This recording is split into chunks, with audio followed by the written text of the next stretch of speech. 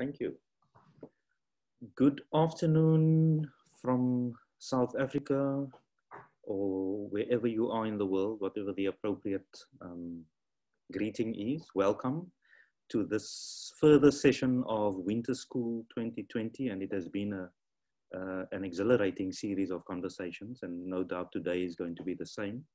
Um, my name is Valmont Layne, and I'm a researcher at the Center for Humanities Research. I'll be chairing today's session. We have a stellar cast of panelists. Um, uh, let me just talk us uh, briefly through the proceedings as we have it, and then I'll just um, introduce the panelists. So we will proceed with Heidi um, Grunebaum, who is um, presenting today uh, on uh, her paper is titled Leaving Zion. And each presenter will have 15 minutes to speak.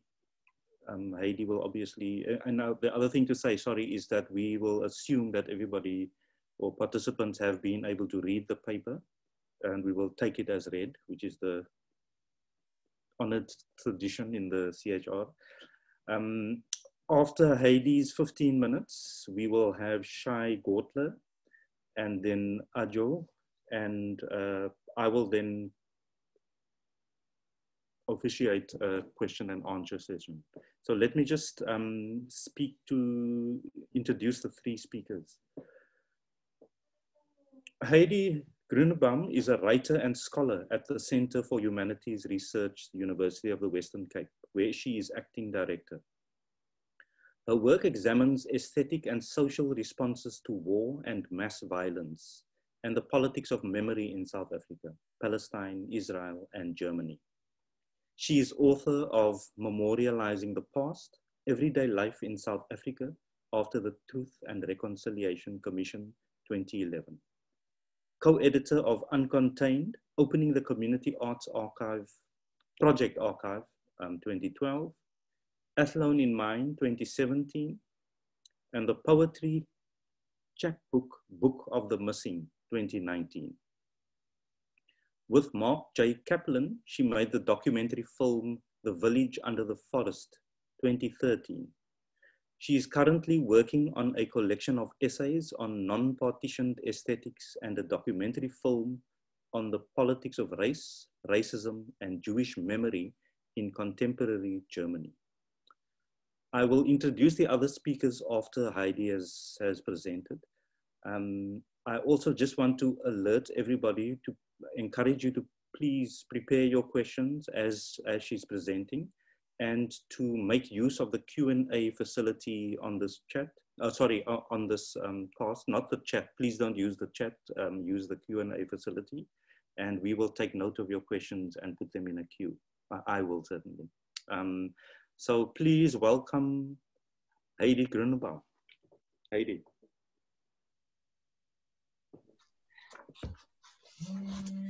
Thank you, Valmont. Um, and hi, everyone. Welcome from wherever in the world you're sitting this morning, this afternoon, or evening. Um, just a quick uh, a roll call of thanks. Um, I want to thank Michelle Smith, Ali Khan, Lameez Lalkhen, and Michaela Felix for running this year's online format of winter school with such finesse and apparent ease under particularly challenging circumstances. I want to also thank our winter school partners, Gary Minkley and the SARChI Chair in Social Change at Fort Hare University, Karen Brown from the Interdisciplinary Center for the Study of Global Change at the University of Minnesota, and Neil ten with the Jackman Inst Humanities Institute at the University of Fort Hare, uh, the University of Toronto, for enthusiastically agreeing to proceed with and participate in a winter school that's in a very altered form during the pandemic. And my special gratitude, last but not least, is to Shai Gortler and Ajoche Awungija for agreeing to discuss my paper today, and to Valmont Layne, my colleague, for chairing the session.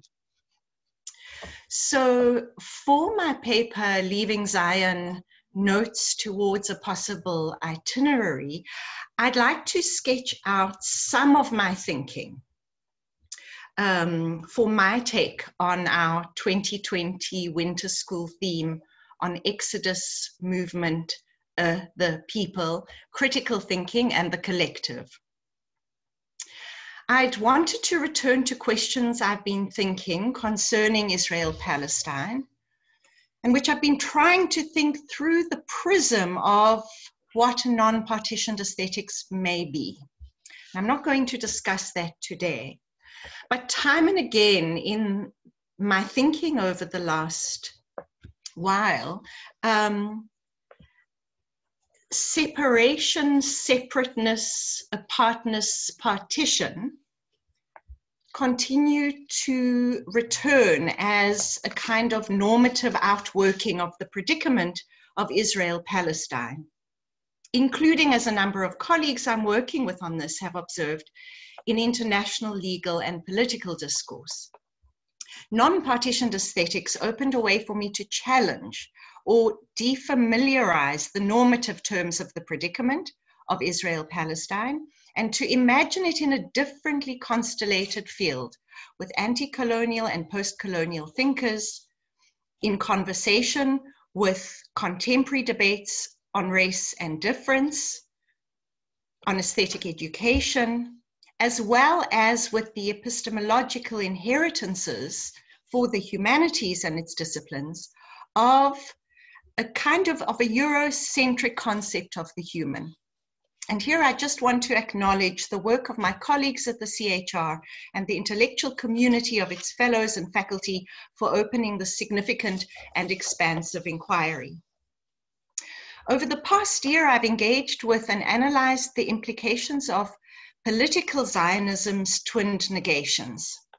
The first negation of Palestinian collective existence and the material traces of Palestinian life in historic Palestine, including the disavowal of the Nakba, which saw the first depopulation and expulsion of some 750,000 Palestinians in the 1947 1948 war for Palestine. The second negation is that of the heterogeneity and historicity of the Jewish diaspora and of millennia of collective Jewish life in Arab and African lands in particular. Analyzing the workings of these twin negations for partitionist separatist thinking, I nonetheless avoided tackling the question of Zionism directly which seemed and still does seem a far too complex, if non homogenous, political, cultural, spiritual, linguistic, and intellectual edifice, if an edifice can be non homogenous, to tackle. Until that is the months long isolation of lockdown during the COVID pandemic, during which my encounters with the hyphenated term Judeo Christian through two different itineraries suggested that it was time to look into the question of Zionism. Anecdotally, then, the first itinerary of the term Judeo Christian was prompted by my learning in May that the Italian High Court had overturned the Ministry of Culture's attempt to evict the International Academy for the Judeo Christian West, established in an 800 year old monastery in the village of The Academy, the brainchild of a well known right wing strategist advising the current US administration, and under the leadership of a former conservative member of parliament in Britain, seeks to convene an international program of study on the intellectual and ideological foundations of Christian white nationalist thought. The Academy for the Judeo Christian West is a culmination of ideas presented by this particular American strategist at a number of venues. But I'd like to cite his words at a Vatican conference in 2004, which was one year after the US's invasion of Afghanistan and Iraq. And quote, he, it's quoted in Robert Smith. He says, The Judeo Christian West is in a crisis. And this is a crisis both of capitalism and of the underpinnings of the Judeo Christian West. The crisis includes the internal threat of, quote, immense secularization and the external threat of, quote, jihadist Islamic fascism. For this strategist, the current fight to protect the West must be inspired by the past. When capitalism, I'm quoting, when capitalism was at its highest flower and spreading its benefits to most of mankind, my emphasis, Almost all of those capitalists were strong believers in the Judeo Christian West. Moreover, the long history, I'm still quoting, of the Judeo Christian West struggle against Islam bequeathed to us the great institution that is the Church of the West.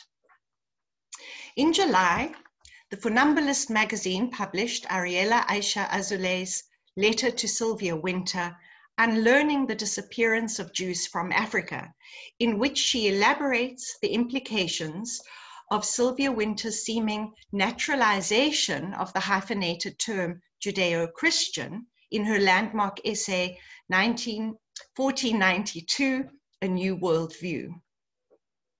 Azoulay reprises Zionism's twin negations, observing that not only was the state of Israel created with imperial tools, colonization, partition, deportation, the nation state form, it also replicated the domination of white Europeans of Jewish origin who turned their way of being Jewish into the only way of being Jewish, a Judeo Christian Jewishness.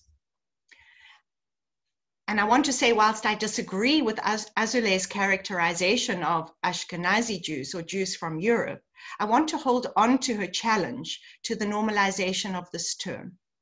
Judeo Christian.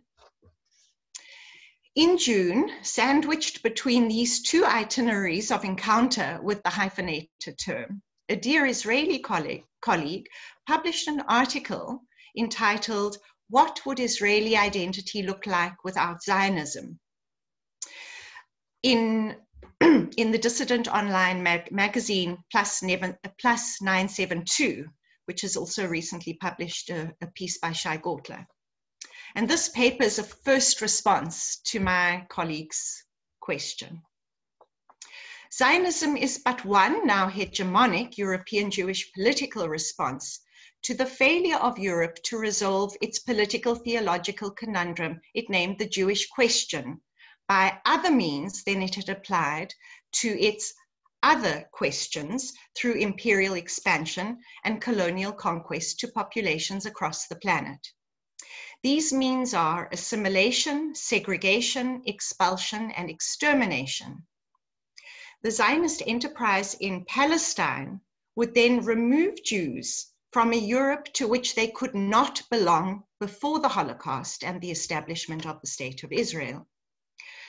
Zionism was territorialized in Palestine, geographically outside Europe, enthusiastically aided and supported by most imperial powers during the 19th and 20th century, even if it was driven by Jewish settlers, refugees, and immigrants from Europe, initially through European techniques of colonization, that is, conquest, expulsion, and segregation for Palestinians, the victims of the victims, as Edward Said put it, and assimilation for Arab and African Jews, or Zionism's Jewish victims, as Ella Shohat has put it.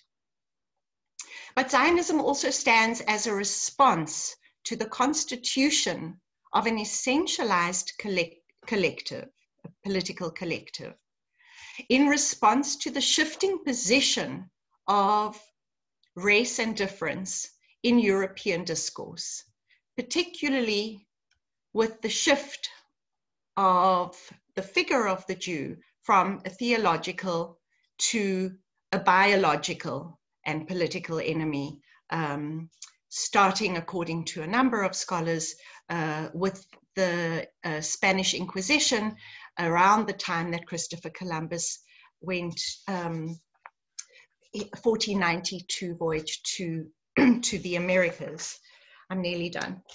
In addressing the, this predicament, Amnon Ras Krakotskin, and others propose the Jewish collectivity in Palestine has to be rethought through and addressed from the perspectives of the victims of the nationalization of Jewish memory. That is, from the standpoint of Palestinians in Israel, Gaza, the West Bank, and the diaspora. And in a different way, that of Arab and African Jews in Israel.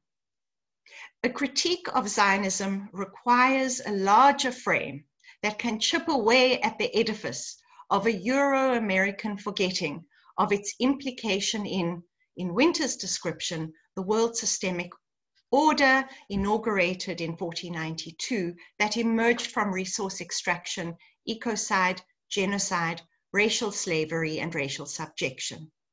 Inside that frame, the critique of Zionism may better examine why separation, partition remains the dominant way to imagine a territorialized political and ethical relation between Jew, Arab, and African, and their various hyphenated and non hyphenated combinations. Inside that frame, too, the central place of Israel as political assemblage tasked with providing a theopolitical framework for Euro American, that is, white Western Christian empire, as Robert Smith writes, may be better understood to more purposeful, purposively be apprehended.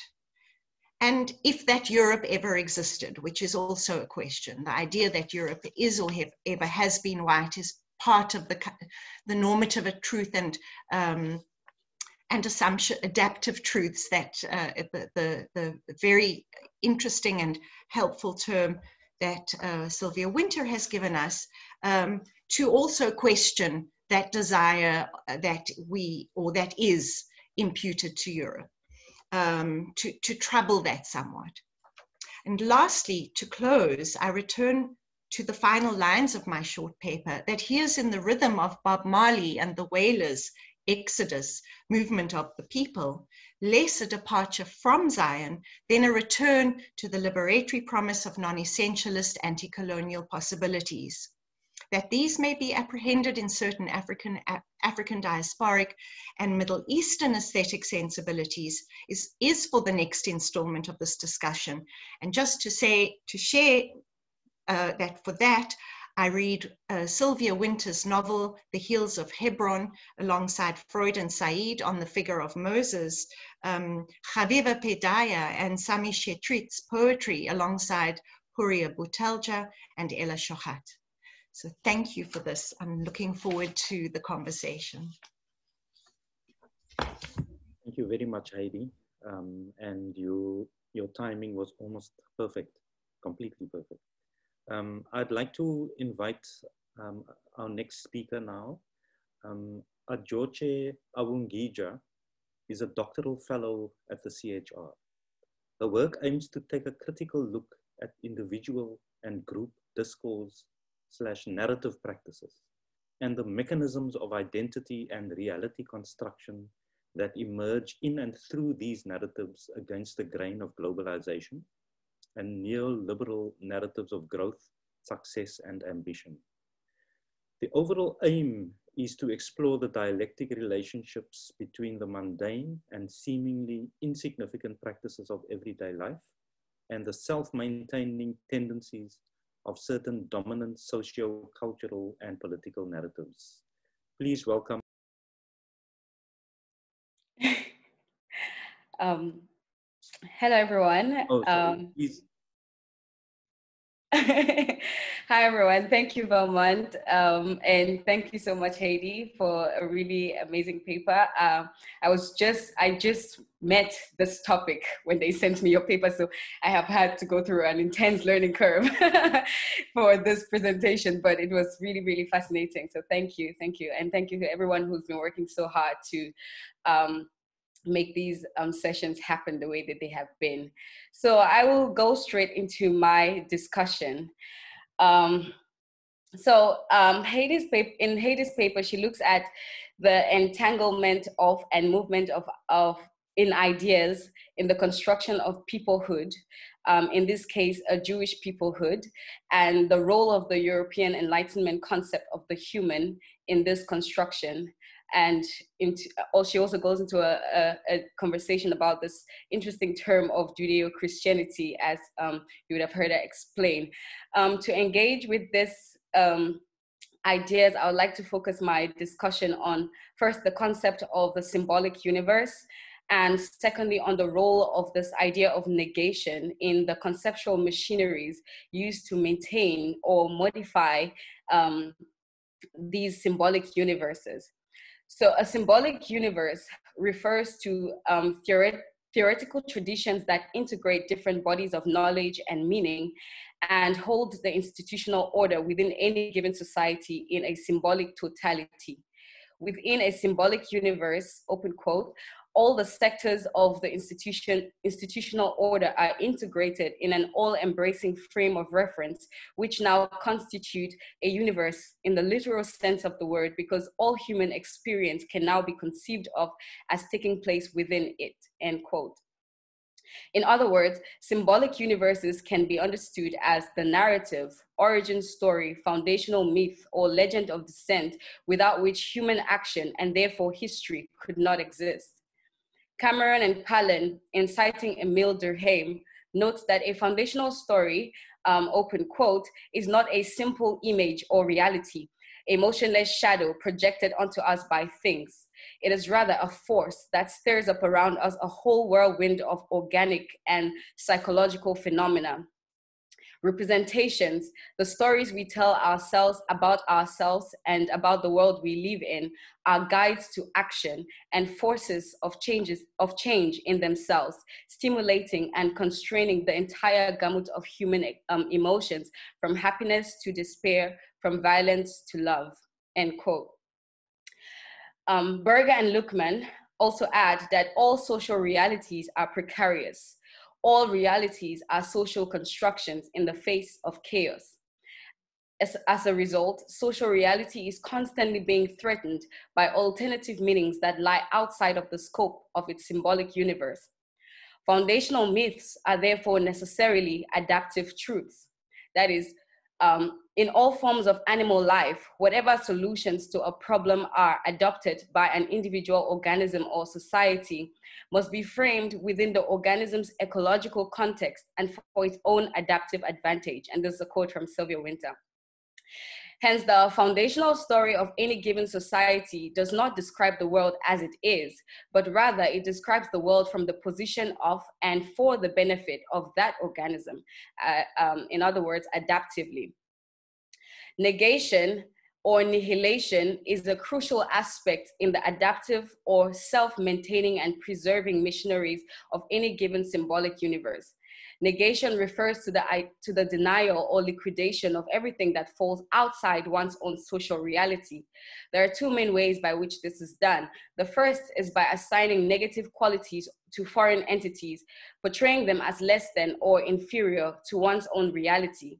A common manifestation of this type of negation is seen in descriptions of the outsider as savage, barbarian, primitive, lost. You are familiar with these. this, this effectively, even if temporarily, neutralizes the threat that the outside poses to one's own sense of normalcy in, the, in, in, in your everyday um, realities and your institutional orders. In other words, this assures the individual that they are living correctly and the other, who's an outsider, is not. Thus, the concept of the human as a Euro American Christian white man could only emerge against the grain of Christian or techno scientific mythologies and narratives that shape these societies. These narratives, in turn, drove the institutional and scientific efforts that went into the ways in which, open quote, species were taxonomically segregated from other beings and forms of life in a hierarchy of races, species, and nature with man emerging as separate from and master over all others. Negation plays a crucial role in these categorizations as the definition or construction of man relied primarily on the establishment of what man is not, which could be barbarian, primitive, Jew, native, black, you know. Man, as master of all, further also became the foundation upon which imperialist expansion, settler colonialism, apartheid, and other major forms of oppression and subjugation emerged.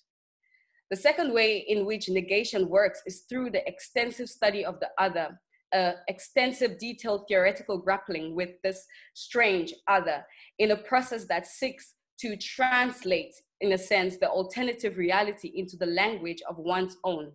In other words, it's the process of making the other make sense in terms of one's own reality. Once we can incorporate the alternative and threatening reality into the language of our own, it becomes part of our symbolic universe and no longer poses a threat, or at the very least, this threat is mitigated, which ultimately reinforces the primacy and correctness of our own universe. Orientalist studies that have been very popular in the West, such as like the anthropological ethnographies that um, were, have been carried out over and over that portrayed Arabs, Asians, Africans, and African people as exotic or primitive people that needed saving or enlightenment or civilization, are examples of, these, of this dimension of negation. The fundamental role of nihilation in the instituting of symbolic universes brings us to the realization that the dehumanization or thingification, um, to use Aimé Césaire's term, of the perceived non-human other is not simply a byproduct of instituting of the wasn't simply a byproduct of the instituting of the now overrepresented Euro-American Christian white man or his forms of life. Instead, it is inherent to its institutionalization and legitimation the hypothetical admission of the equalness of all men will mean having to concurrently admit to the ultimate barbarism of colonialism, the Holocaust, slavery, Islamophobia, and so on, which will possibly put him in a paralyzing state of extreme guilt or, or at the very least, terror. This is where the force of the symbolic universe or uh, foundational myths become apparent as they allow the individuals within a given society to carry on living their lives with terror and guilt significantly or even completely assuaged or mitigated. Modern political Zionism developed out of and as a response to this perception of man and the worldview that placed him at the center and as the master of all. The movement grew out of the perception of the Jews as unassimilable or as impossible to incorporate into the Euro American symbolic universe.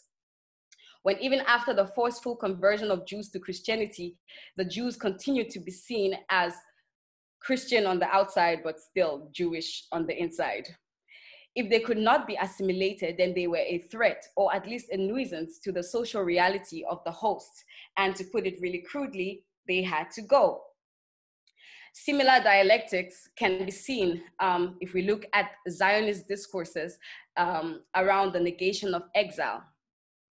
The nihilation or flattening of the heterogeneous historicity of the diasporic Jew was one of the main goals or tools um, of the Jewish political Zionists the exilic Jew no longer fit into the narratives that were, they were weaving together in their quest to justify and explain the return to history of the Jews. In order to smooth out any ambivalence or discrepancies in the diversity of the of diasporic Jews, they needed a new narrative one that would at once justify the justify the obliteration of the Palestinian right to the land and at the same time cure the Jew of the sickness of the spirit that was said to follow from exilic experience such as superstition, fear, resentment, political irresponsibility, passivity, weakness, and so on and so forth. For the Zionist agenda of creating a homeland for the Jewish people, despair was productive as it would leave Zionism as, as the only option for Jews who were um, trying to escape growing, uh, rising anti-Semitic feelings in Europe and America. Zionism as a tool in universe construction, in this case, maybe more than universe maintenance, sought to flatten, resolve, or smooth out these ambiguities by the construction of the image of a new Jew, um, one who could fight back, and work the land that was awaiting to be redeemed, in this case, Palestine. in so doing, the people who were not a people, based on their different his histories in the diaspora and the possible inconsistencies between their various evolutions, would be integrated into a single narrative of a people. The second negation, which Heidi spoke about, um, which I also mentioned briefly above, um, involves the masking of a settler colonial project in the form of a spiritual, political, and material redemption, which simultaneously negates the collective existence of the Palestinians who have been displaced and essentially had their land stolen from them. The first negation, the desire to create a pure Jewish state that was undiluted by European culture, religions, and way of life, as well as just any other type of um, influence from other cultures, would justify the erasure of, of the collective, of collective Palestinian life, while also excluding other Jews, such as Arab and African Jews in a sense, in order to create the new Jew, the Zionist had to imagine himself as, and I quote, a rampart of Europe against Asia, an outpost of civilization as opposed to barbarism. This has striking um, resemblance to the discourse of human as man or as white Christian man that they sought to escape by creating this homeland in, in, in, in Palestine systemic racism against the Arabs, Arab Jews and African Jews can be seen as internal to the Jewish polity in the same way that the definition of, of the human as man, in the way that we've spoken about, is in a dialectic relationship with the non-human status assigned to and I say non-human in quotes, um, to Black, Jews, Arabs, Muslims, and just about anyone um, outside of the Eurocentric worldview on a somewhat different but related note, and this will also be my last note, um, I thought the growing popularity um, of the term Judeo Christianity introduced an interesting and very telling plot twist um, in, in, in terms of the, the, the power and the self maintaining um, tendencies of symbolic, the Eurocentric symbolic universe. The term gained popularity in America and Britain during the, during the Cold War as they sought to unify their nations against the common enemy, which at the time was Islam and uh, was communism and we can argue today is islam. I mean i'm not very familiar with this. I, I agree to be corrected if i have misread it.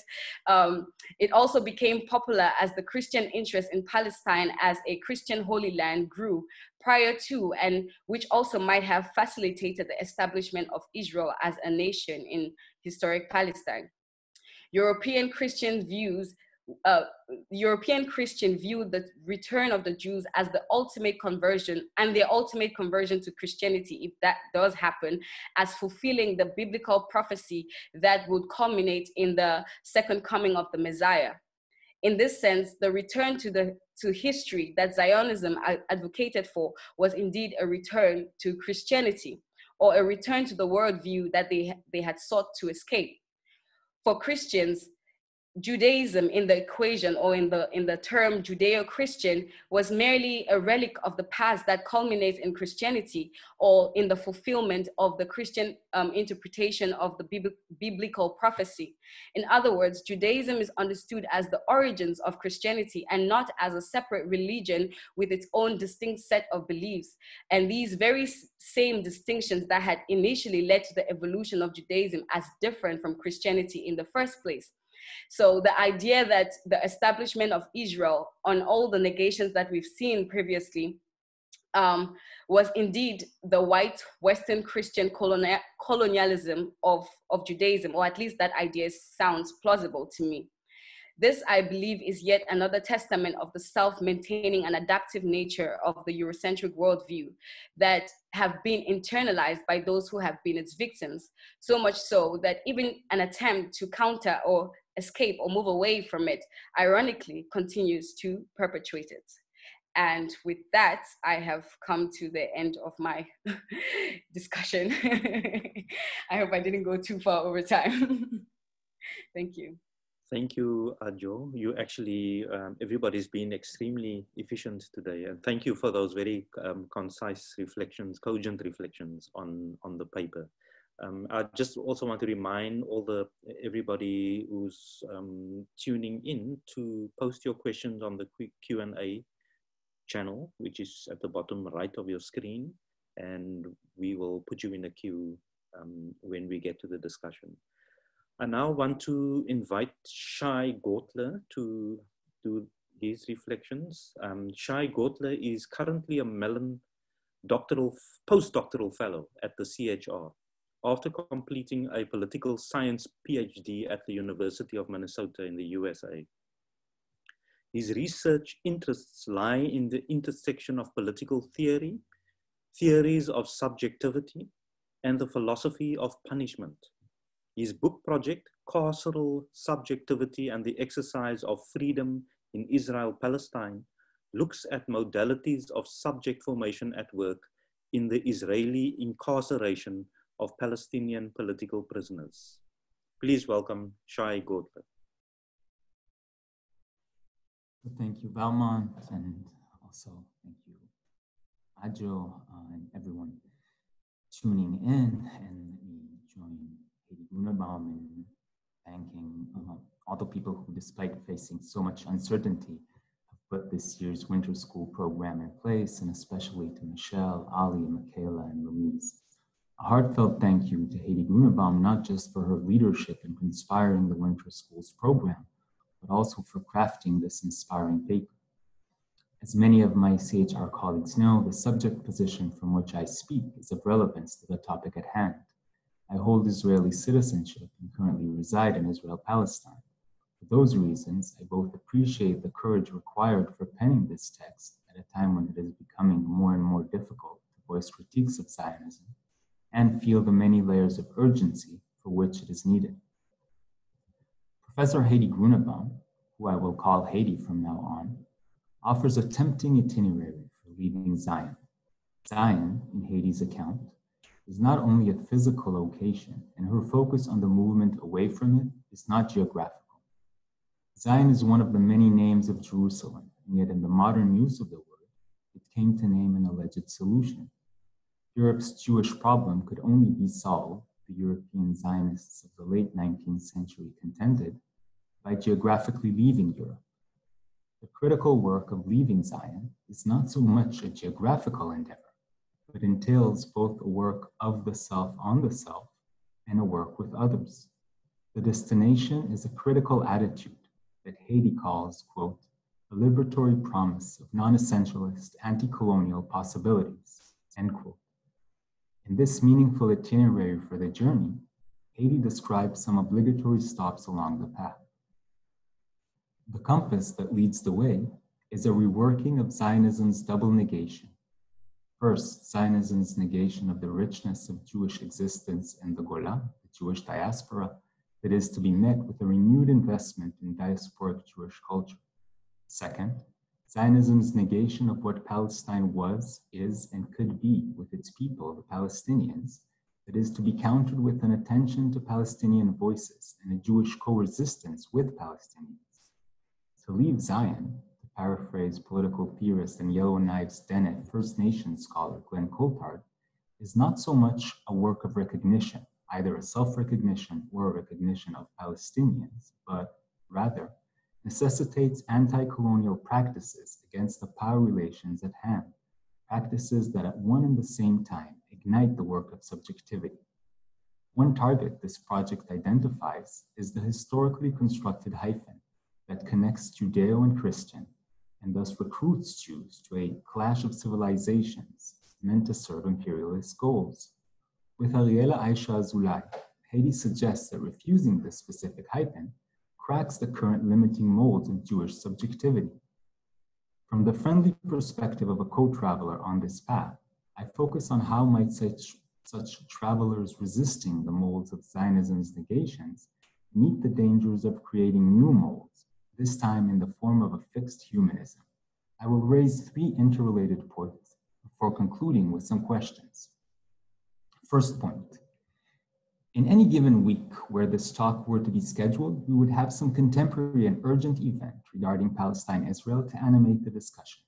For this particular week, it is tomorrow's signing ceremony of, now this is a procession of scare quotes, a peace agreement, normalization, or deal between the United Arab Emirates, Bahrain, and Israel that that will be held on Trump's lawn.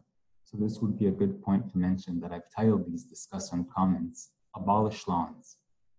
The aesthetics of the lawn, the long-standing symbol of American suburbia, is symbolic for those who will shake hands on it tomorrow, alive and at home in their world, and yet docile, uniform, trimmed down, and devastating for our ecosystem.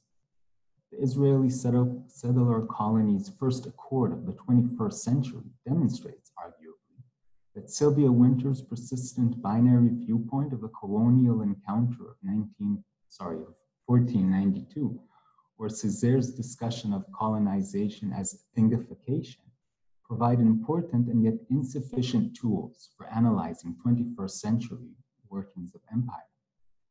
Empire not only treats some people as objects and discards them at will, but makes willing subjects. It not only excludes, but also includes. In last week's winter school session, Nancy Luxon discussed the movements of Agent Joe in this respect, as eluding simple colonial binaries of us and them. Instead, Luxon offered us an opportunity to examine the figure of the exchange, that is, to examine racial structures through their attempt to regulate movement, even if structures can never fully define a movement. In a similar vein, critical thinker and currently incarcerated Palestinian political prisoner Walid Daka discusses the contradiction that encapsulates the Palestinian subject position of being at once both invisible and exploited. For Daka, the imperialist treatment of Palestinians as malleable subjects is even more dangerous than a colonial view that discarded them as objects. The quote, relations of domination that Césaire discusses are not limited to colonialism alone.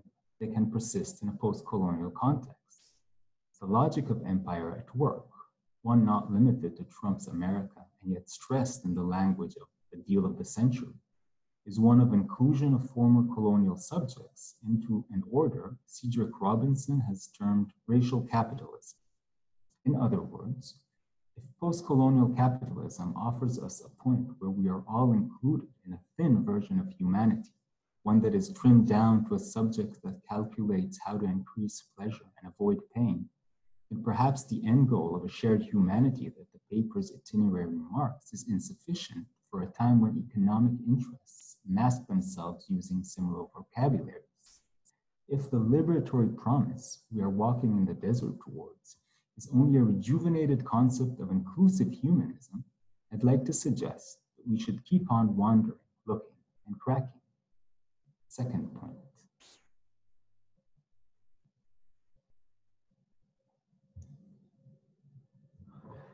The critique Heidi offers of the current arrays of power linked with the title Zion is not of the religious calling to make pilgrimage to Jerusalem, but of the militarization of Zion as, quote, a rampart of civilization against barbarism, end quote. It is not the rampart itself as a technology meant to impede movement that is the problem. Indeed, as Hagar Kotef argues, hampering movement can itself serve as a practice of freedom. The ramparts of the Paris Commune demonstrate that in some cases, movements can pose a threat while the barricade has liberatory potential. In more recent examples, Jewish activists from If Not Now and Never Again have blocked the entrances to US concentration camps for immigrants, chanting, Never Again means abolish ICE. International Jewish anti Zionist network activists joined Palestinian American leadership and participated in Block the Boat to prevent Israeli ships from harboring in West Coast ports. And in Israel Palestine, anti pinkwashing activists have erected a miniature model of the separation wall to block Tel Aviv's Pride Parade. These activists, few as they may be, once again reclaim the rampart as a tool of resistance. I would like to suggest that we turn our gaze to the assemblage in Herzl's quote between the rampart and civilization. Rather than eliminating ramparts by including all religions and races in shared humanity, what would it mean to take inspiration from these activists and to reclaim the rampart for democratic purposes and the creative work of freedom? A harder way to phrase this question is the following. Rather than completely rid ourselves of ramparts in favor of a civilized shared humanity on Trump's lawn, what might instead a post-Zionist reappraisal of civilization looks like. On the path towards a non-essentialist, anti-colonial subjectivity, rather than reform a figure of the human to include non-humans, might we consider the very undoing of the concept of the human? Michel Foucault and Giorgio Agamben both use the term desubjectification in their works, but they do so in very different ways. For Agamben, desubjectification describes what the Nazis did to Jews, Roma, homosexuals, among others, in the camps. In contrast, Foucauldian desubjectification is a practice of freedom that warns against molds put in place to define someone, pin her down to an identity, and declare untransgressible bounds. With Foucault and a new generation of non, anti, and post Zionist thinkers, we could ask what would it mean to take our resistance to Herzl's formulation not to the role the rampart plays in separating us and them, but to the notion of a strict, firm mold of the human. Third point. What are the degrees of variation in the critical work of mnemonics, of memory making, that is needed for thinking an anti-colonial, non-essentialist Jewish subjectivity. According to Ariela Aisha Azoulay, to refuse the Zionist negation of the diaspora, to refuse being a memoryless Jew, means also to grapple with the different trajectories of Jewish diasporic existence. Yet, these include not just the likes of Rosa Luxemburg, Jacqueline Kahana, or Dennis Goldberg, but also those Jews that served colonialism, Heidi mentions that the Jewish memory she wishes to conjure up is not only non essentialist but anti colonial. And yet, in many forms, even in the diaspora, Jews, as Albert Memmi reminds us, manned the middle position between colonial regimes and the colonized. To remember a rich and meaningful diasporic Jewish culture is to already do some work to undo the Zionist trajectory in Israel Palestine. Yet, it is insufficient in regard to possible colonial interactions elsewhere. What then would be possible degrees of variation in a mnemonic oriented reading of aesthetics that could grapple with these different positionalities? So let me conclude my discussion of this truly wonderful paper with three very brief questions. One, what are the stakes for leaving Zion in the singular versus the plural? as a journey one does on their own with conclusions that can only be reached by an individual, contra the need to think and act with others. Two, how might iterations to come of this itinerary treat the internal relations of domination within the category Jewish? For example, how do we limit the danger of reproducing current relations of power that are posed by an Ashkenazi Jew's analysis of liberatory possibilities presented by Jews self identifying as Arab, Ethiopian, African American, or Native American. Third and final question, which I will leave very open, is what role does South Africa play in this installation? Thank you.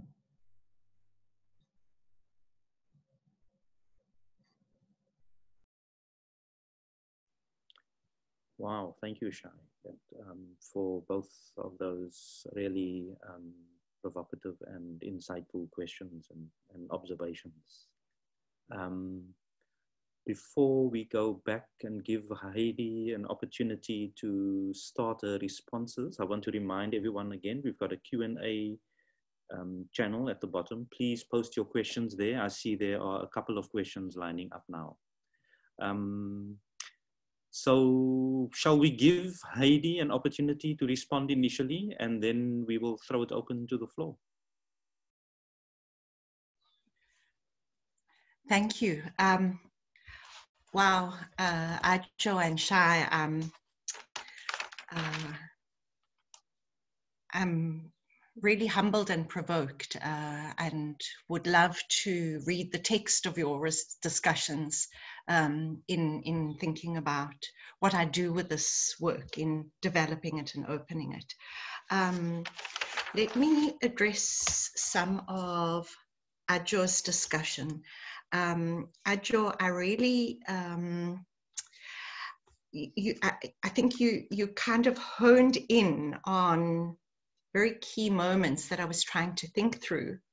And I, I, think you expanded and deepened the possibilities for thinking about those moments, um, particularly through the way that you were reading the, the relationship of between negation and the making of symbolic universes um, in which a kind of kinetic force of belief operates um, in obviously very complex ways. And you you you know you talk about the uh, relationship between institutional orders of reality that become that become both more coherent but in some way more totalized um, in this idea of in the making of the found, foundational truth um, of, of collectives.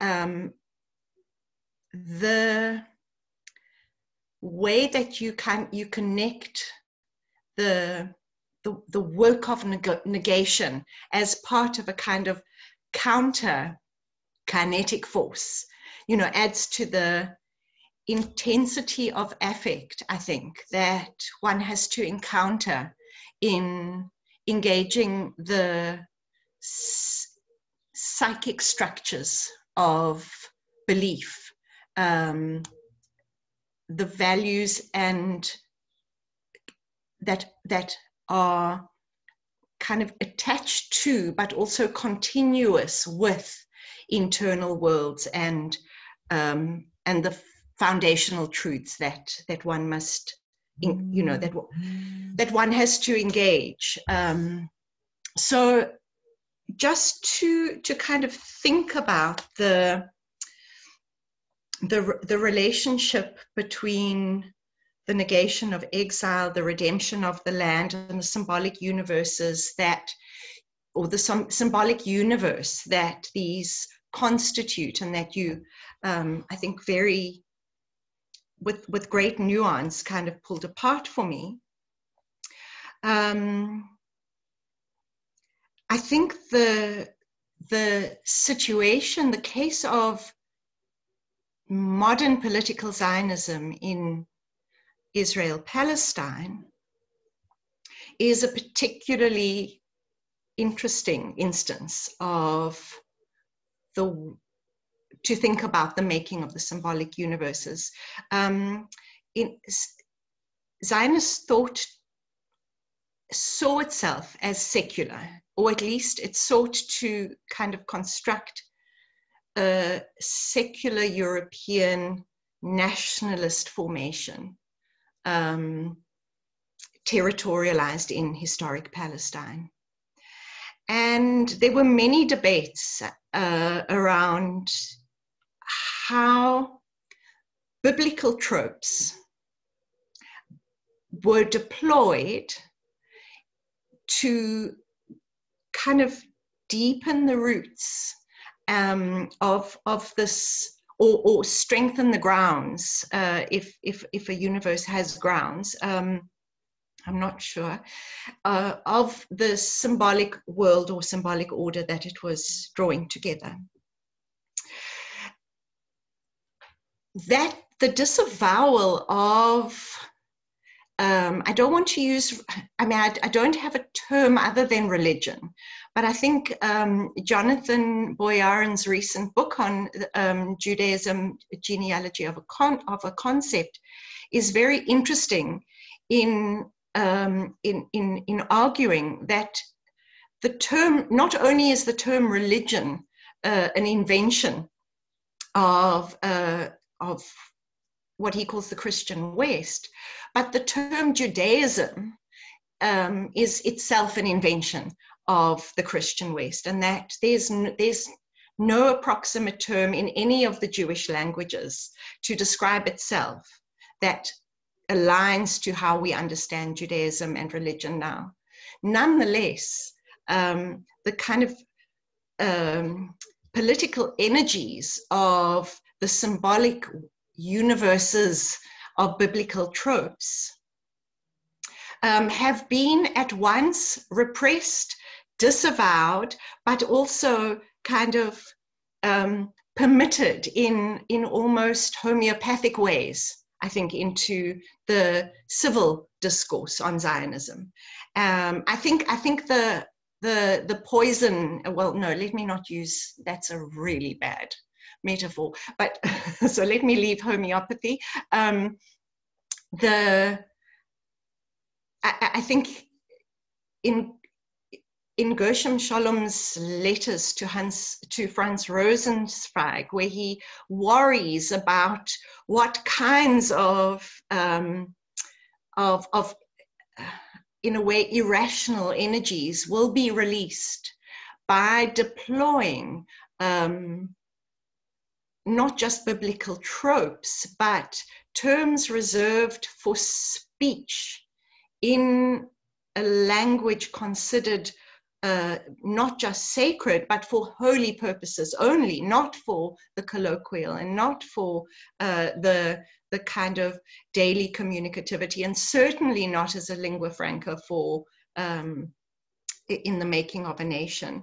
Um, so I, I, think there's a very interesting kind of set of convergences um, that your response of um, your reading of symbolic universes in Zionism might, might, make available. And so thank you for that. Um, in relation to the figure of the new Jew, I mean, there's, um, I think that the, that symbolic universe continuously kind of reprises the bad Jews uh, and casts them outside. And Shai and uh, I think a number of um, a number of people on the webinar would have better than I uh, firsthand experience of what it is to be iteratively named a traitor. Um, and, and that is a term that is uh, reserved for, but it's not simply, it's, it's not an, an insult. It operates as a way to, as a kind of, as a barricade, as a rampart. It expels continuously um, from inside that kind of um, very complex hierarchy that um, Yerdey calls infrastructures of citizenship that produce whiteness in Israel. Um, as far as Palestinians are concerned, they were always named. I mean, the the the the, the symbolic universe always kind of affirmed its project by naming Palestinians from the earliest days of the state, uh, never as Palestinians, but as infiltrators and as terrorists even in the discussion you, uh, in, um, a few years ago when I was doing research in Israel Palestine for The Village Under the Forest, um, I watched a, a, television interview conducted with David Ben Gurion, the first prime minister, and one of the kind of inventors of this um, secular, non secular uh, uh, European nationalism that is at least Zionism in the form that we that came to be hegemonic, in which he was asked about the 750,000 Palestinian refugees that were made homeless, um, that were deplaced. Uh, and he refused to respond using the proper name, the collective noun Palestinian, uh, and he iteratively insisted that um, that that those what he called Arabs who try to return are infiltrators who are coming to commit um, acts of terror against the new state. Now, this in terms of the kind of um, iterative outworking of through various social institutions from school to the military. I mean i think that schooling and military are two institutions in um, in israel that have uh, that are particularly important to to look at in the way that over time this not just the symbolic universe but the kind of foundational truth of um, of the let's say, the Israeli national narrative, um, continuously re-invokes the figure of the terrorist precisely to produce terror. Um, and it's a figure that is uh, an invention of, um, a, of an Israeli Jewish imagination. Of course, it has nothing to do with Palestinians. Um, but it has a lot to do with the fortification of the ramparts, which hold on to this idea of um, a, a peoplehood that is mirrored in the topography through architectural kind of markers from the early days of the state, um, where settlements were established using the architecture of um, blockades, towers, and blockades. Um, a military architecture that materially mirrored back um, I, a, a, a, a, collective idea and self understanding of a, psychically assailed and vulnerable people. And in the aftermath of the um, horrific genocide against uh, European Jewry, that production or, and doubling of a figure of terror or, and for terror to terrorize um, had a, a, had a kind of a, a psychic force that has been politically instrumentalized in a you know in a continuous way. And one of the images that i was thinking about sharing today is a very powerful a very poignant um, photograph that was taken during a pandemic this year on uh, Yom HaShoah in Israel, on the Holocaust Remembrance Day in Israel, of a woman standing with her mask, her, um, her, her COVID 19 mask, wrapped in a blue and white flag, stopped on the highway outside of her car, where for those minutes of silence that are observed, and the entire Jewish Israeli kind of society stops wherever they are on the street, on the move, uh, freeze in time to commemorate the Holocaust, continuously re import that psychic fragility um, that is activated continuously through the figure of the Palestinian as uh, infiltrator and terrorist. So I think I'm rambling a bit and I'll um, move on to, to Shai's incredibly um, rigorous and um, and moving and thought-provoking uh, discussion. Um, Shai, I this the um, I, yeah, I look forward to when we can when the skies open again and we might have the um, the privilege of being in the same room to really think through the implication of some of your questions and concerns. Um, I take I take your reading that what I'm suggesting with my non-essential um, anti-colonial kind of uh, collective, uh, which may or may not be. Uh, that, that is an open question. Um, but in response to your, your, your, your kind of your prodding as to whether the itinerary to leave Zion, whether it's individual or collective, I would say it's and also, it's both and. Um, I, I um, and what that collective looks like, I think you've named certain kinds of interventions but I think it, it that it, it, requires much, much more thought. But and I want to try and see if I can end my comments there. Um, so you're worried about my recuperating a weak humanism, um, a la Sylvia Wynter and um, Césaire, um, or I would even say uh, Frantz Fanon Um, or as Maurits van Bever-Donker is doing in his, you know, his new book, um, there's a, a, a, not yet done with the human. Um, now, why would I want to stay with the human?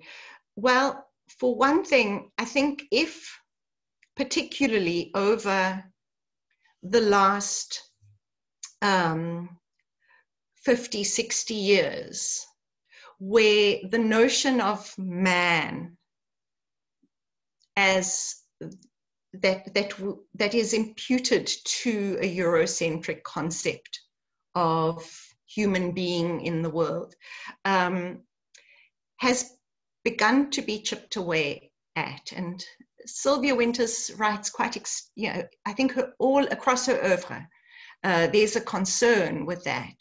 Um, I think it's because the concept of the human that you want to be rid of is dehumanization. In other words, I don't know if we there is has been an exploration of what being human means.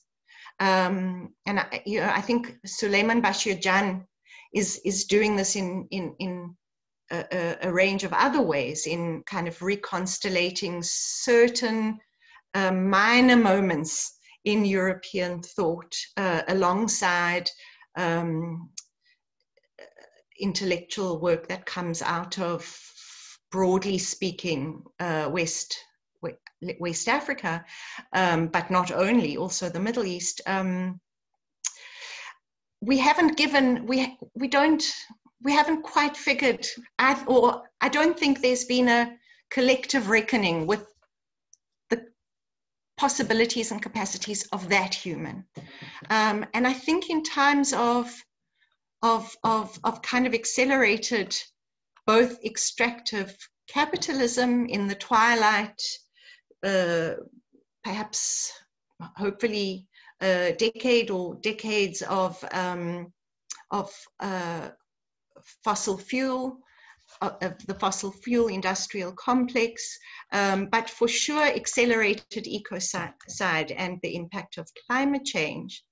Um, the effect of extractive modes of being master over what we call the environment, um, a species centric uh, concept of separation and hierarchy, perhaps another mode of humanness can help us figure the broken the kind of the sense of fragility, the shared or not shared, but the experience of being in the world and in relation to other humans, but also to other beings and creatures.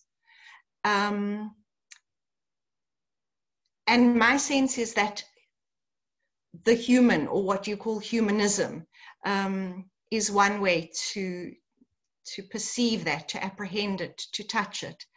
Um, I also worry that the rush to the post-human um, and to the kind of, in a way, vitalist uh, discourse uh, smooths over the and and and and you know may be implicated in another structural forgetting that the earlier man as the only way of being human um, has has has has left us with and in the ruins of. So i'm not ready to leave humanism um, but i'm very ready to think with you other modes um, even if that means decentering a humanism um, or what you call a thin concept of humanism. Um, the the rampart for democratic freedom. Hang on, degrees of variation in mnemonics. Okay, let me take that before I go to your three um, to your three super meaty questions, which I'll respond to. I'll try and be brief. I'm thinking aloud here. Um, so, you know, to, for participants that, have, that remain, I, I really appreciate uh, indulging me working out ideas as I speak them. Um, of course, uh, um, I, I'm, I'm not seeking a redemptive Jewish figure. I'm not looking for Emma Goldman and Rosa Luxemburg and uh, although I am, Ilan Halevi is someone I'm particularly interested at the moment and have just received his 40-page uh, poem that he wrote in French um, in response to uh, Aimé Césaire's discours um, du colonialisme um, in the in the 1940s. He was born in the underground in occupied France, and he became the uh, he, he served on the PLO's Revolutionary Council and as their um, representative in Paris until he died in 2013. Um, of course, I'm interested in um, in Jewish figures, um, but not only. I don't think that.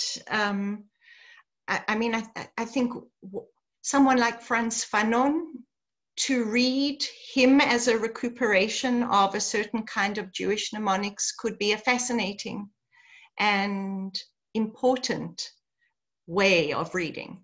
So to read along the, the grain of a kind of um, Lyotard's notion of the Jews, right? Um, not in any sense of Jewish memory as essential as genetic. I mean, how to depart from the um, epigenetic framing of an identitarian kind of project. I'm not interested in that, and I wouldn't want to do that. So maybe I should have made that um, slightly clearer on the one hand. On the other, I, I also think that there are no kind of historical collectives, national or other, that in some way, particularly due to the, a certain exilic status, exilic in relation to the absence of state, not necessarily to be responded to by taking a state and establishing, but okay, that train's left the station. And these were, um, as you well know and others well know were very important debates that um, that are recorded for us to read and and and to think with um, but the, the the kinds of political and economic pressures that come with uh, collectives who um, who rely on the hospitality of rulers um, produces all kind of ambivalent, ambiguous, and compromising accommodations. And I wouldn't put the burden of um, of refusing that or resisting that on any collective historically. I think the idea is to open up uh, the kind of messy, compromised, complex, contradiction riven spaces um, in order to better kind of apprehend. And in that sense, I really like your idea of mnemonic variation or degrees of variation. So thank you. Um, I, I, sort of sp spoke, I think, uh, to to your first question about the singular plural and the plural singular, um, but I didn't do it justice. Um, how would this itinerary feed internal configurations of Jewishness in Israel, I think that is um, a crucial and critical question because there are concepts of Zionism and practices of Zionism, particularly in um, the most kind of subjected and marginalized and despised in the in the kind of symbolic universe of the regime uh, and those are Arab and African Jews in particular. And yet, that is where practices of Zion and Zionism, I think, um, are certainly not willing to leave Zion neither Jerusalem, nor the, uh, the tombs of the patriarchs, nor a range of other uh, kind of benefits in a way that come with the power of might. Um, so I don't want to un, you know, to, to kind of minimize or undo that contradiction by presenting a kind of a prescription for departure. Um, I would like to hold on to that internal configuration because I think that's a place to proceed also. Um, and not necessarily in the performative politics of the barricade, um, which isn't to say I'm not uh, dismissing that. Um, I think, you know, just reading or starting to read um, on revolution um, the the the historian who who did um, Hegel, uh, Hegel in Haiti, Susan Buck-Morss's book on revolution. I think what she's insisting, at, along with many others, um, uh, many other intellectuals and activists, is that you the the kind of the turbulence of the streets and of people's collectives on the streets. Of course, not all of these are kind of progressive or emancipatory at all, as my own kind of presentation is suggesting. But um, the 21st century, and this is, I think, a, um, a really important point, Shai, is that there are there, there are new um, modes of, of, of political subjectivation that are unfolding and occurring, um, and we haven't yet figured what what that is. Um, so I don't want to kind of put the ramparts um, out the picture, but it's not necessarily where I would turn to first for understanding this, um, for, for thinking this itinerary inside of um, the internal configurations and hierarchies of citizenship, which are deeply racialized. And in that sense, I think Zionism produ- has produced less um, okay, Ali, I has produced less a Jewish supremacy than white, than final securing of whiteness. And that's where I think the kind of conversation becomes particularly interesting. I'm not going to respond to how does South Africa play a role in this constellation uh, for now. Um, if, if with the chair's permission. I think there are lots of questions, uh, lots of comments, and hopefully uh, Shai and Adjo will join me in responding. Thank you. Thank you everyone for a, a fascinating conversation. Um, there are several questions. I'm going to read a few and then we'll take them in turn like that. And uh, panelists, please uh, feel free to, to engage as well. Um, so the first one is from Kan Kanita Basir. I'd like to pose a question about the international community highlighting the fact that Israel's creation of itself is a clear indication of its hegemonic existence, which breeds segregation of all people, religions, and races. With this understanding, it is clear that Zionism is the source of system, systemic segregation which purposefully drives the colonial and superiority complex of Israel that allows for ethnic cleansing and the dispositioning of actual inheritors of the land. How does this understanding not allow for the dissolution of the so-called Israeli state based on its actual illegitimacy? A few more from Marian Mugisha. Heidi, could you please throw light on the continuous negation of the African Jew, i.e. African as negation and Jew as negation, hence a double negation. Would you conceptualize the figure of the African Jew as representing the above idea, that is the double negation? From Uzoma Esonwanne. Why exactly do historical experiences of persecution yield to projects of individual and collective self-making that replicate the dialectical structure of persecution that inspired them in the first instance? What is it in the symbolic universe of the persecutor, the Judeo-Christian world, the Christian West, etc., that impresses itself on the liberatory imagination, Zionism, anti-colonialism, etc., as if it had become or is now coded into its DNA as natural and inevitable.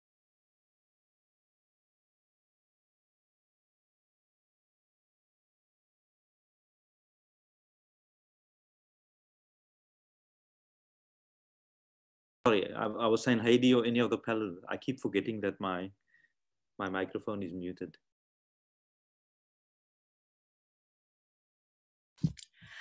Um, thank you for these really juicy questions. Um, Kanita, um, I think that, you know, your question relates to a much broader set of questions around states and legitimacy, but doesn't necessarily help us. So I think a kind of, uh, and I, I, hope this doesn't, um, you know, I, I, I, hope this lands in with the intention that I, am kind of um, sharing it, in that I don't think that moral outrage is sufficient to undo um, the various orders and modes and workings of power that um, that nation states wield.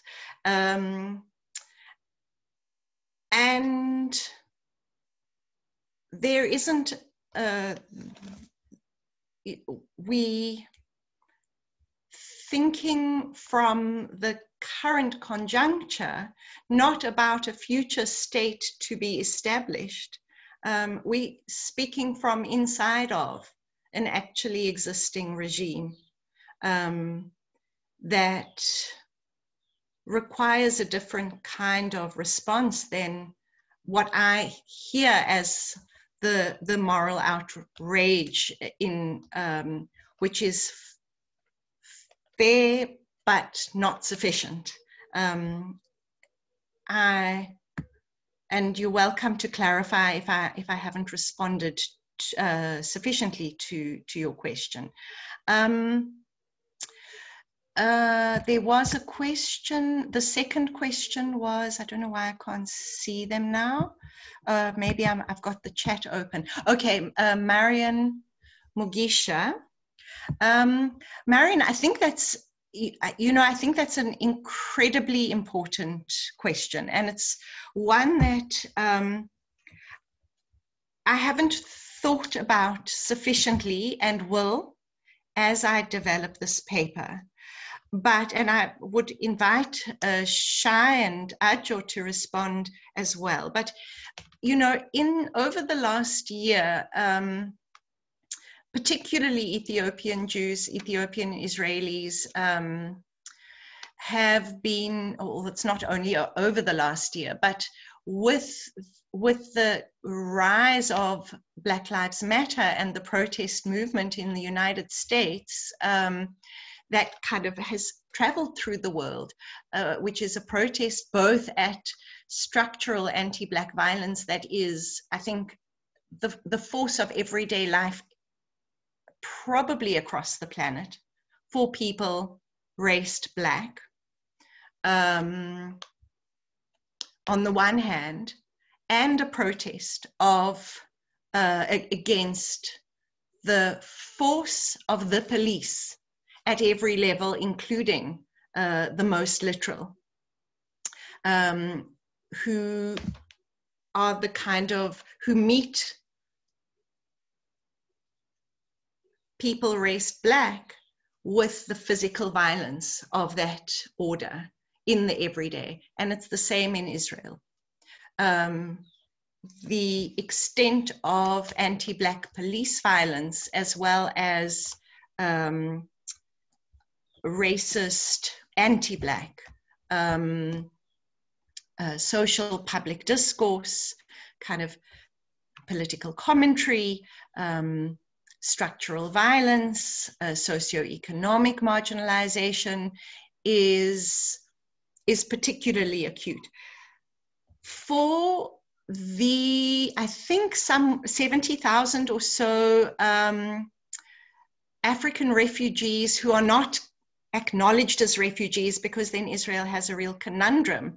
Um, if it only acknowledges that it can be um, some kind of sanctuary for, uh, for historically for Jewish refugees, but through the negation of Palestinian collectivity had to disavow their experience of, of being made refugees. Um, there's a particular vulnerability um, that in, including all, you know, including um, incarceration in, in, in desert um, detention camps and um, and at some point a an examination of the possibility, a discussion with a number of African countries uh, that they would be paid to take African refugees from Israel, even if the, the refugee was not coming from that country, such as Uganda and Rwanda, and I'm just naming them here because they were implicated in that scandal. Um, that double negation, I, so my hunch in response to um, to uh, Marian Mugisha's question is that there is a double negation working out there. Um, I think that, and, and I think it's really interesting that on the one hand, there's the, the hyphenated term Judeo-Christian. On the other hand, there's the equal, there's well, differently hyphenated, but the hyphenated term um, Arab Jew. There is no hyphen for Jewish African or African Jew. Uh, and I think that, you know, I think you, you're picking up on something that is, that definitely needs to be thought um, through much more carefully. And I, I thank you for that.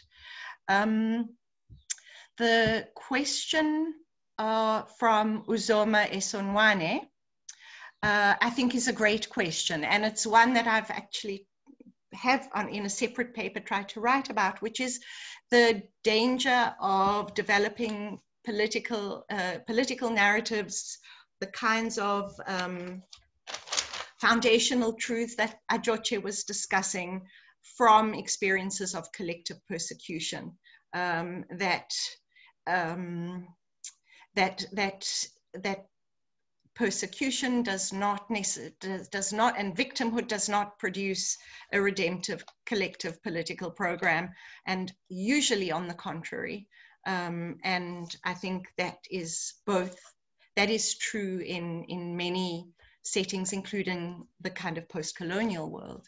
Um, and I, that's a big generalization to make but i think it's a you know the the, the way in which certain kinds of um, really catastrophic experiences for which there can be no repair other than the symbolic and the material, but the material always marks marks rather its inadequacy, uh, which doesn't mean it shouldn't be be made or offered um, precisely both in order to, um, to, to, to, mark its insufficiency as well as to mark uh, a certain kind of economic cost that is endured in the survival of catastrophe at a collective level. Um, nonetheless, I think it's a, a, very dangerous grounds for politics and it, it produces politics of grievance, um, of exclusion, and uh, it, it, ensures certain kinds of cycles of political violence. Um, so thank you for that. Was there another one, Val? Let's, um, I first want to give the other panelists a chance to, if anybody wants to comment or respond, you don't have to, but if, if there is a burning need, now's the moment. Okay, so uh, can I, I'm gonna select a few more. Um, let's see. Robert Krieger says the Christian Evangelical Judeo Christian Project has jumped the Atlantic to Africa a, while ago, without, however, the imperial avarice, I think. Here we have yet another layer of negation and that of missionary manipulation. See the stance of Chief Justice Mogoeng Mogoeng, for example, how to deal with this. So that's Robert Krieger. Um, there's a, longish question. I'm going to read the whole. I'm going to try to It's too difficult to summarize. Um, Rituli Olain. Great paper, Heidi. Uh, sorry. The, uh, I'm drawn to Adjorche's symbolic universe frame. She unpacks the contradictions of placemaking for European Jews. Uh, I'm summarizing as I'm reading, sorry. And the contract, contradictions of subject constitution of Jew, white man, while by the same stroke thingifying the other. So here's a statement. The burying of 500 villages in Palestine by a certain aesthetic that refashioned Israeli topography exposes the shaky ground on which precariously rests what may be called the founding of anti-Semitic racist myths for the modern making of a subject called the Jew. Heidi's paper adds the following. As a response to the failure of being recognized and incorporated into whites proper, the excluded European Jew fashioned Zionism in line with the violent ethos of settler colonialism. I'm going to skip a bit. With these in mind, I have a question. If this placemaking and subject making of the Jew in pursuit of recognition into whiteness is founded on such precarious ground, if we could call the gift of Césaire's sharp analysis of the crisis of modern man that what could inform a counter aesthetic to this? What practical ways could signal a return to a liberatory promise of non-essentialist anti-colonial po possibilities? And then maybe a third one from Kelly Gillespie. Heidi, it seems that Shai is very kindly suggesting that you might mo be mobilizing a romantic humanism to get beyond the predicament of Israel Palestine. He suggests that humanism might be insufficient for the kind of activist orientation that needs to break and violate this predicament. And he suggests that we might perhaps even need something like a blunt instrument or an orientation we might call uncivil to undo the regime. Does Wynter's humanism allow you to respond adequately, adequately to the question, does humanism cut it as a, usu a useful enough force? So there again, three very um, provocative questions. Mm. Heidi, you want to go first? okay.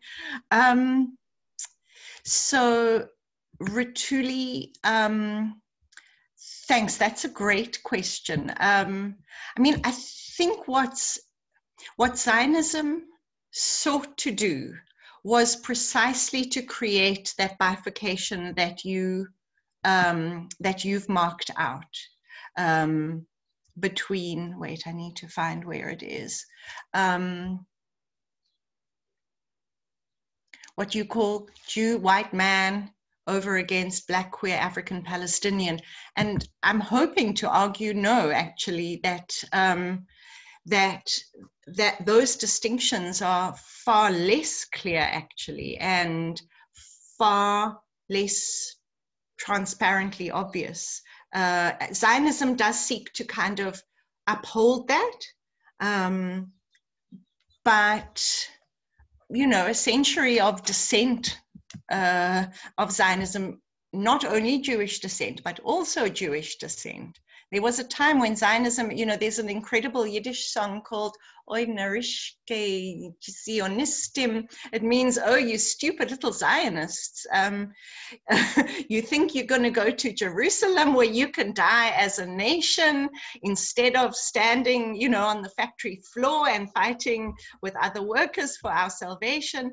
Uh, you could say you stupid little Zionists in a Yiddish song a hundred years a hundred years ago because it was there was an absurdity to this project. Um, somewhere, I think um, both humor and a kind of a recuperation of these deeply um, disavowed archives of um, of ironization and of um, of humor, but also of dissent, of subversion, um, can help the undoing. Um, I don't know if that if that that, that responds to you, Rituli. Um, you you you're welcome to to to kind of call me on on my insufficient response.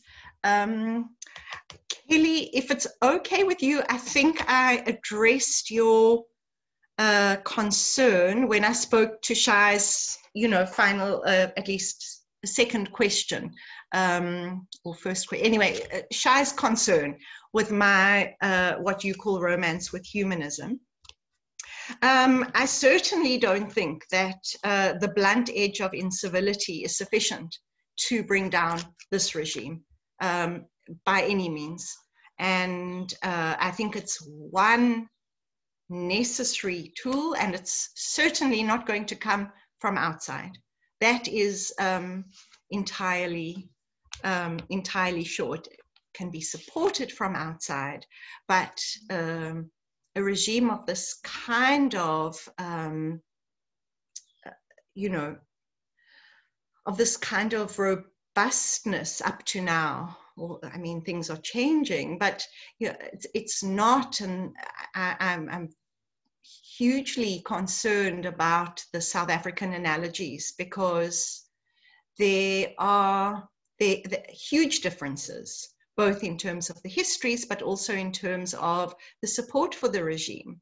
Um, and the moral outrage that you know that we have towards the regime is not what's going to kind of decombust it.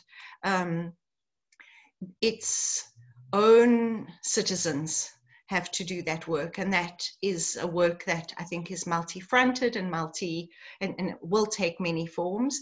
For sure the work of ideas is is is, is part of that kind of multi-fronted coalition that um, is in formation. Um, yeah uh, is there oh um, robert um, Robert, it's interesting that the, it, it's a you're picking up on a really important point. Um, I don't think it jumped the Atlantic a long time ago. I think it's there's a form of of, of um, Euro-American Christianity that has always been missionary. It's always been expansionist. It's accompanied colonial um, enterprises, and it's the same kind of apparatus that um, that that turned to biblical Palestine in the 19th century with a deeply Orientalist kind of set of um, of glasses that uh, of spectacles that were both um, filled with disgust for the actual people living in Palestine and uh, filled with romance for the way in which, um, and this kind of loops us back to Ajoche, the way in which um, the biblical, or the way in which the actually existing people of Palestine in Ottoman uh, Palestine could be translated into a kind of pastoral biblical landscape. Um, so, so the processes that have unfolded in this territorial, um, this, this kind of territorial configuration that was part of Ottoman um, part of the Ottoman Empire, um, I, th I, think is is very much part of the kind of aesthetic of spiritual redemption that has accompanied the blunt edge of colonial violence. Um, and I think you're you're hundred percent you know correct in picking in picking that up.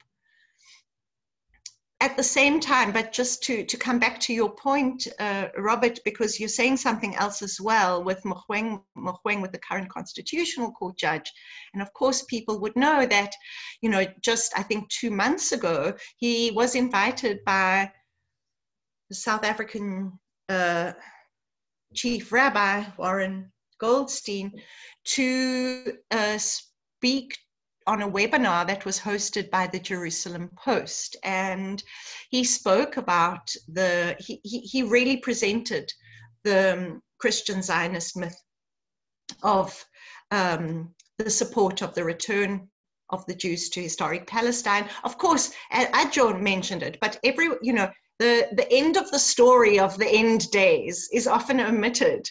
And that end, I mean, it's, it's, a, it's a deeply and it's a anti-Semitic racist story because in it, um, you know, the kind of final conflagration um, is, is unleashed.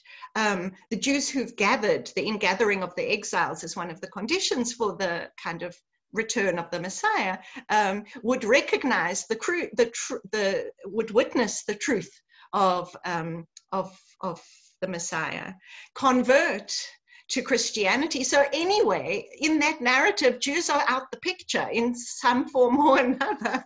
Um, so, you know, and that's uh, in the very um, troubling and powerful political pact that the Israeli regime has made with the Christian evangelical world, um, which has a political project in mind. Um, uh,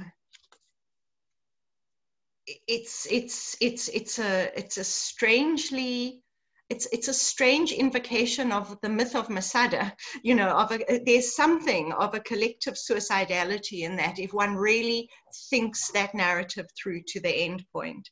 Nonetheless, it um, you know the, the, rise of Christian evangelism of evangelism. Okay, um, is uh, is one that you know is is is taking new forms in the 21st century. And I, I, think it's important that you put your, your finger on that. Thanks, Heidi. Ajo or Shai, you want to make any comments? No? Okay. Let me go. Let's see how long we can keep this um, we, are, we are now about 15 minutes before five o'clock. Um, a question from Maurits van Bever Donker. Thanks for a gentle paper that tries to carefully navigate a line through the very heavy grids of intelligibility that make this project so difficult and so urgent. Can you engage on the question of aesthetics that you broach very briefly in relation to movement, rhythm, and a people to come? Césaire names this people that is not yet as black in a formulation that goes against the reification of race. There is perhaps something about the aesthetic that opens this. And maybe a, related question from Kim Gurney. Thank you uh, for, the, for this intriguing discussion. Heidi, you end your paper alluding to the liberative potential of the aesthetic. You mentioned it's for the next discussion, but if possible, can you share some preemptive thoughts on what you think of the role of artists slash aesthetics in leaving Zion in that project and building non-essentialist anti-colonial thought. Um, I'll take one more from Warwick Swinney. Bob Marley's song Exodus quoted is a good peg around which to discuss another Zion or the metaphysical Zion that for him is a place to move towards. That is, the concept of Zion is the escape from Babylon or the West. Zion for him is Ethiopia or the whole African continent. He says in the lyrics, send us another brother Moses from across the Red Sea. So a Zion in the metaphysical sense, opposite to the Israel idea. Maybe that's enough to go on. Uh, maybe I, can I squeeze in one more? It looks like we may have yeah. covered most. Uh, I see that uh, Joshua Reed and Mitchell Hunter also put yes. questions up. Um, so, let me read Mitchell's question. Could you think through the implications of the confluence of Zionism's two negations, which might be written as the negation of the Palestinian Jew, Jew, sorry, full stop. That is negating both the past Jew who lived in Palestine pre-Zionism, who was not Zionism's new Jew, and the future possibility of a Jewish subjectivity that thinks itself as Palestinian. Oh, where did that come? It jumped somewhere. Oh, after the destruction of the Jewish state. Shall we go with that? Huh. Um, which was um, uh, which was the first question I lost? Was Kim or Maurits? It was Maurits. It was Maurits, then Kim, then Maurits, Warwick, Maurits, Kim, Warwick, and then Mitch. Okay. Yeah. Um,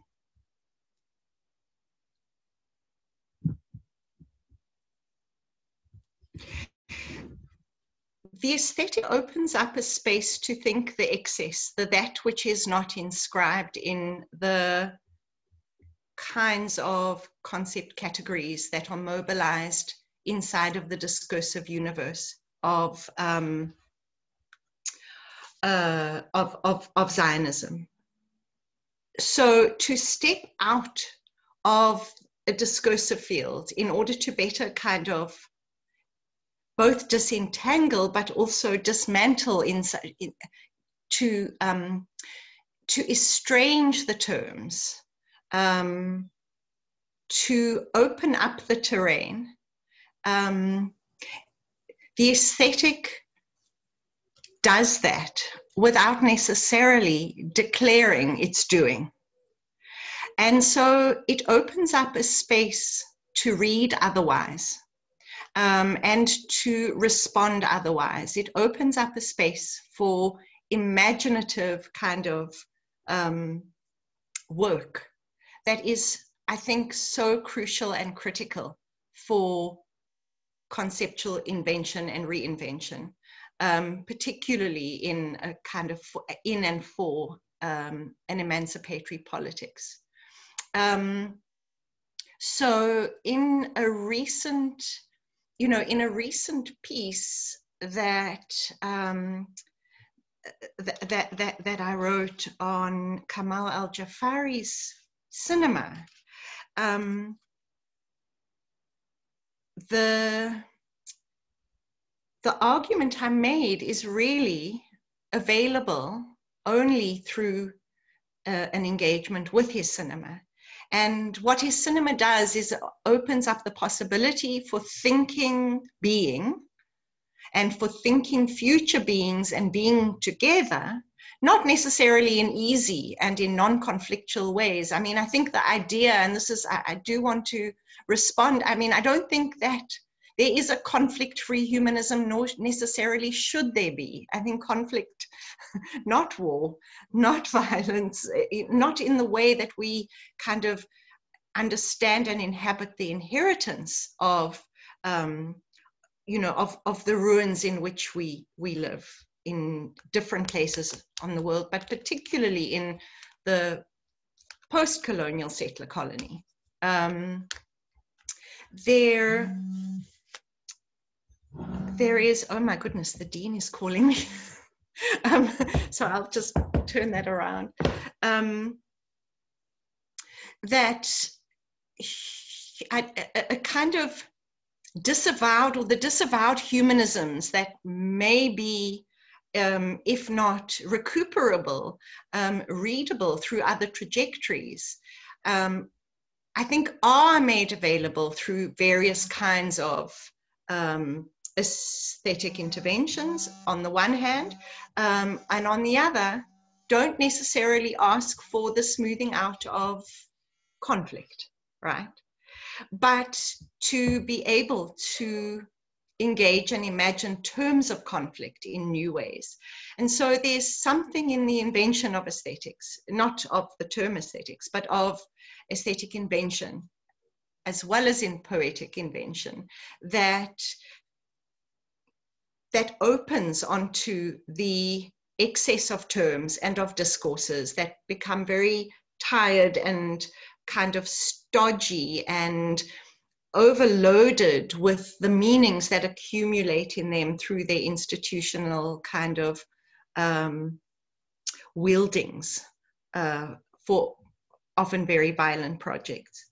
And in that sense, I think the aesthetic is a very interesting you know, it, it's an interesting way to open a space to think and investigate the inadequacy of discursive concepts um, in order to return to them.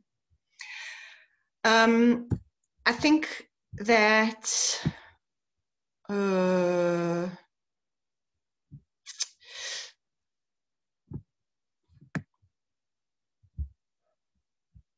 hang on, uh, from Mitchell. Um, Mitchell, I think that your, I mean, you know, the establishment of, well, long before, and Shai would know better, long before the establishment of a state, the possibility of being a Palestinian Jew was, you know, increasingly eviscerated with the the challenges and demands that the Yishuv, that the Jewish pre-state kind of settlement structure presented for indigenous Palestinian Jews. Um, and it's an interesting question because whether it's possible and how it's possible to reclaim that um, other non-hyphenated set of terms is one that I've heard uh, being discussed particularly in um, Israeli uh, Palestinian politics in Israel. So um, it, Palestinians who are Israeli citizens, um, of which there, um, you know, there is a, a, a sizable population. Um, and that's where I have heard talk of that. Um, but I think it's a very, you know, I think like the, the, earlier question about Black Jews, although in a very different way, I think that's um, a juxtaposition a non-hyphenated juxtaposition that is is particularly important to look at in this kind of itinerary that I want to open up and think through, um, perhaps, or not perhaps, yes. Um, there was, I think, Warwick. So, so Warwick, I think, you know, the, um, uh, thanks, that's an amazing, it's, that's an amazing comment. Um, the, in in many ways the kind of um, emancipatory fields that um, that biblical tropes such as Zion, such as Babylon, such as redemption, such as exile, um, get kind of reworked in um, in African diasporic aesthetic production is you know i think we shouldn't should neither lose sight of it nor necessarily ignore that as a as as as a site of engagement for these kinds of non-essential um, anti-colonial possibilities. So thanks i think that's a really great but i also think it's important to mark the distinction that nonetheless those that those kinds of trajectories have not been you know absorbed into the kind of nationalist and statist projects that um, the uh, the Zion of, uh, of of you know of its kind of uh, very recent invention, last two two or so hundred year invention in relation to the Israel Palestine question uh, is concerned. At the same time, you know, uh, there were always dissenting views on, on Zionism. Um, and different tra- trajectories. So, you know, for example, um, Ahad Ha'am, who's a very famous uh, kind of thinker of what was, I think, called cultural or spiritual Zionism, um, you know, on the one hand was anti-nationalist, but understood that there was, on the one hand, a certain kind of relationship material link between the site of Zion and its possibility for renewal of some kind of collective Jewish life, not politically though, and certainly not in the state form as I you know, as it became. Um, so I think they, you know, I think they're different hues and um, variations of um, inheritances of the Zion train that we that might be worth kind of visiting because it's not revisiting. Yeah. Um, do you want me to to can I can I is that all is that oh Joshua Reed can I read Joshua Reed? Um, or before you do, I think about to run out of time. Oh, uh, okay. Uh, now five minutes to five, and maybe okay. we should close off, and perhaps you can take it up or Joshua can can um, engage offline. Okay. That's okay. So uh, I just want to thank Heidi for an incredibly um, yeah, it's just such a rich piece of work, and it's it's pulled so many different um, conversations together that we've been having with this uh, inside of the CHR, and certainly it, it gives us uh, a much stronger sense now of the the central theme of winter school. Um, thanks very much, Heidi. And thank you to Ajoche and Shai for your incredible um, contributions. You, you really, really, I think it is going away with a lot of uh, very helpful and very um, uh, stimulating things to, to work with and to think with. Um, I, before everybody goes, I just want to also let you know that registration is now open for the next session of winter school, which is co-hosted with the other Universals Consortium. The presenter will be Fadi Bardawil. Did I, did I pronounce that correctly? Bardawil. Um, the paper title is Radical Disenchantment, and the required reading is available on the CHR website. The date is the 25th of September, 3 p.m please join us for that. I'm sure there will be more um, publicity about it as the days go by.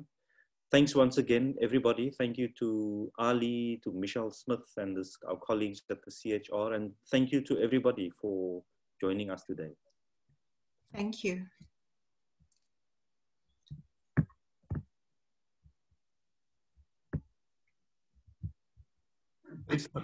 Congrats. Are we offline? We no, we still live. Oh, now. um,